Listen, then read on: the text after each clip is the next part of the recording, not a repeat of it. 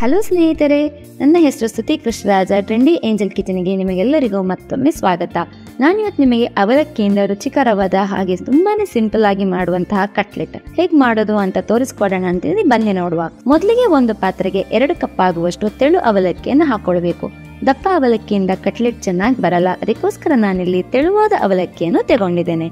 ಆಮೇಲೆ ಇದಕ್ಕೆ ಒಂದು ಕಪ್ ಆಗುವಷ್ಟು ನೀರು ಹಾಕಿ ಒಂದು ಎರಡರಿಂದ ಐದು ನಿಮಿಷ ಕಾಲ ನೆನೆ ಹಾಕ್ಕೊಳ್ತಿದ್ದೇನೆ ಈ ಥರ ನೆನೆ ಹಾಕೊಂಡ್ಮೇಲೆ ನಾವು ಕೈಯಿಂದ ಇದನ್ನು ಚೆನ್ನಾಗಿ ಕಿವಿಸ್ತಾ ಬರಬೇಕು. ನಿಮಗೆ ಕೈಯಲ್ಲಿ ಕಿವಿಸ್ಲಿಕ್ಕೆ ಕಷ್ಟ ಆಗೋದಂದ್ರೆ ಒಂದ್ಸಲ ಮಿಕ್ಸಿಯಲ್ಲಿ ಹಾಕಿ ಕೂಡ ಇದನ್ನು ಕಿವಿಚ್ಕೊಳ್ಬಹುದು ಗ್ರೈಂಡ್ ಮಾಡ್ಕೋಬಹುದು ಕೈಯಲ್ಲಿ ಕಿವಿಚ್ಕೊಳ್ಳೋದು ಕೂಡ ತುಂಬಾನೇ ಸುಲಭ. ಆಮೇಲೆ ಇದಕ್ಕೆ ಚಿಕ್ಕ ಕಟ್ ಮಾಡಿರುವಂತಹ ಒಂದು ಈರುಳ್ಳಿ, ಆಮೇಲೆ ಅರ್ಧ ಕಪ್ ಆಗುವಷ್ಟು ಕ್ಯಾರೆಟ್ ಆಮೇಲೆ ನಾಲ್ಕು ಚಿಕ್ಕ ಕಟ್ ಮಾಡಿರುವಂತಹ ಬೆಳ್ಳುಳ್ಳಿ, ಆಮೇಲೆ ಅರ್ಧ ಕಪ್ ಆಗುವಷ್ಟು ಫ್ರೆಶ್ ಆಗಿ ಇರುವಂತಹ ಕೊತ್ತಂಬರಿ ಸೊಪ್ಪು, ಆಮೇಲೆ ಮಸಾಲೆಗೆ ಒಂದು ಚಮಚದಷ್ಟು ಕೊತ್ತಂಬರಿ ಪುಡಿ ಒಂದು ಚಮಚದಷ್ಟು ಗರಂ ಮಸಾಲೆ, ಆಮೇಲೆ ಅರ್ಧ ಚಮಚದಷ್ಟು ಒಣಗಿನ ಮಾವಿನಕಾಯಿ ಪುಡಿ ಅಥವಾ ಆಮ್ಚೂರ್ ಪೌಡರ್ ಅಂತ ಕೂಡ ಹೇಳ್ತಾರೆ. ಆಮೇಲೆ ಖಾರಕ್ಕೆ ಒಂದು ಚಮಚದಷ್ಟು ಅಚ್ಚಕಾರದ ಪುಡಿ, ನಿಮಗೆ ಹಸಿಮೆಣಸಿನಕಾಯಿ ಕೂಡ ಯೂಸ್ ಮಾಡ್ಕೋಬಹುದು. ಆಮೇಲೆ ರುಚಿಗೆ ತಕ್ಕಷ್ಟು ಉಪ್ಪು, ಆಮೇಲೆ ಎರಡು ಚಮಚದಷ್ಟು ಅಕ್ಕಿ ಪುಡಿ ಅರ್ಧ ನಿಂಬೆ ರಸ ಅಥವಾ ಒಂದರಿಂದ ಎರಡು ಚಮಚ ಆಗುವಷ್ಟು ನಿಂಬೆ ರಸವನ್ನು ಸೇರಿಸಿ ಚೆನ್ನಾಗಿ ಇದನ್ನು ಮಿಕ್ಸ್ ಮಾಡ್ಕೊಳ್ತಾ ಬನ್ನಿ. ನಿಮಗೆ ಉಂಡೆ ಗಾತ್ರಕ್ಕೆ ಬರೋದಿಲ್ಲ ಅಂತಂದ್ರೆ ಸ್ವಲ್ಪ ನೀರು ಹಾಕೊಂಡು ಕೂಡ ಇದನ್ನು ಚೆನ್ನಾಗಿ ಮಿಕ್ಸ್ ಮಾಡ್ಕೊಳ್ಬಹುದು ಅಂದ್ರೆ ನಾವು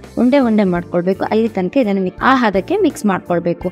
ನಿಮ್ಮ ನೋಡಿದ ಹಾಗೆ ತುಂಬಾ ಜನ ನನ್ನ ನಮ್ಮ ಚಾನೆಲ್ ನೋಡಿ ಸಬ್ಸ್ಕ್ರೈಬ್ ಆಗ್ತಿಲ್ಲ ಸೊ ಸಬ್ಸ್ಕ್ರೈಬ್ ಮಾಡಿ ನಿಮ್ಮ ಪ್ರೋತ್ಸಾಹವನ್ನು ನನಗೆ ತಿಳಿಸಿ. ಕೆಳಗಿರುವ ಬೆಲ್ ಬಟನ್ ಅನ್ನು ಪ್ರೆಸ್ ಮಾಡಿದ್ರೆ ನಮ್ಮ ಚಾನಲ್ ಎಲ್ಲ ನೋಟಿಫಿಕೇಶನ್ ನಿಮಗೆ ಬರುತ್ತೆ. ಈ ತರ ಉಂಡೆ ಹದಕ್ಕೆ ಇದನ್ನು ಕಲ್ಸ್ಕೊಂಡ್ಮೇಲೆ ಚಿಕ್ಕ ಚಿಕ್ಕ ಉಂಡೆಗಳನ್ನು ಮಾಡ್ಕೊಂಡು ಇದನ್ನು ರೌಂಡ್ ಶೇಪಿಗೆ ಮಾಡ್ಕೋಬೇಕು. ತುಂಬಾ ತೆಳುವಾಗಿ ಮಾಡ್ಕೋಬೇಡಿ, ಹಾಗೆ ತುಂಬಾನೇ ದಪ್ಪ ಕೂಡ ಮಾಡ್ಕೊಳ್ಬೇಡಿ. ನಿಮ್ಗೆ ಬೇರೆ ಸೈಜ್ ಬೇಕಂದ್ರೆ, ಅಂದ್ರೆ ಸ್ವಲ್ಪ ದೊಡ್ಡ ಸೈಜ್ ಆಮೇಲೆ ಹಾರ್ಟ್ ಶೇಪ್ ಅಥವಾ ಸ್ಕ್ವೇರ್ ಅಥವಾ ಉದ್ದಕ್ಕೆ ಯಾವ ಶೇಪ್ ಕೂಡ ಮಾಡ್ಕೋಬಹುದು. ಈ ತರ ಮಾಡ್ಕೊಂಡ್ಮೇಲೆ ಒಂದು ಬಾಯಳಿಗೆ ಎರಡರಿಂದ ಮೂರು ಚಮಚಷ್ಟು ಎಣ್ಣೆ ಹಾಕೊಂಡು ಬಿಸಿ ಮಾಡ್ಕೊಂಡು ಅದಕ್ಕೆ ನಾವು ಮಾಡಿಟ್ಟಿರುವಂತ, ಅಂದ್ರೆ ನಾನಿಲ್ಲಿ ರೌಂಡ್ ಶೇಪ್ ಮಾಡಿರ್ತೇನಲ್ಲ ಅದನ್ನು ಒಂದೊಂದಾಗಿ ಇಟ್ಕೊಳ್ತಾ ಬರ್ತಾ ಇದ್ದೇನೆ. ಆಮೇಲೆ ಎರಡೂ ಬದಿ ಕೂಡ ಇದನ್ನು ಬೇಯಿಸ್ಕೊಳ್ಬೇಕು. ಅಂದರೆ ಒಂದು ಬದಿ ಆದಮೇಲೆ ಇದನ್ನು ಟರ್ನ್ ಮಾಡಿ ಇನ್ನೊಂದು ಬದಿ ಬೇಯಿಸಿ, ಹಾಗೆ ಒಂದು ಎರಡು ಸಲ ಮಾಡಿಕೊಂಡು ಇದನ್ನು ಕ್ರಿಸ್ಪ್ ಆಗೋ ತನಕ ಇದನ್ನು ಬೇಯಿಸಿದರೆ ನಿಮಗೆ ರುಚಿಕರವಾದ ಹಾಗೆ ತುಂಬಾ ಸುಲಭವಾಗಿ ಮಾಡುವಂತಹ ಪೋಹಾ ಕಟ್ಲೆಟ್ ರೆಡಿ ಆಯಿತು.